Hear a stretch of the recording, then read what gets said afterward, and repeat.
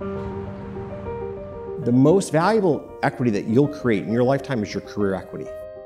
Be bold in picking a firm that you think is going to challenge you, where you're going to learn and engage in that role with a passion.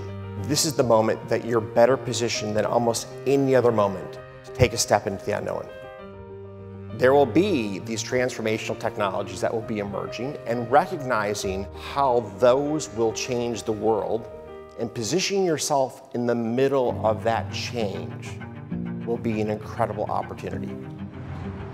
Great entrepreneurs have the right toolkit to solve a problem of that particular moment in time.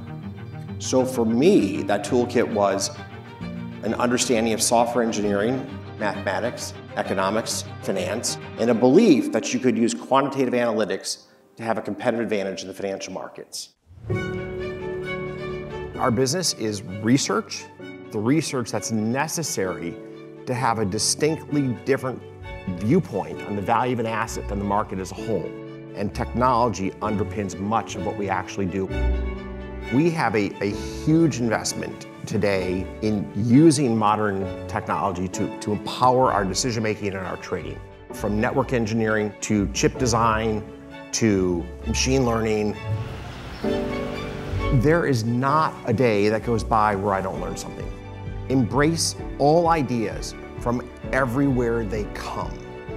You need to always think as an entrepreneur, how do you create advantages? And how do you learn from not just your competitors, but businesses afar afield that you can learn from?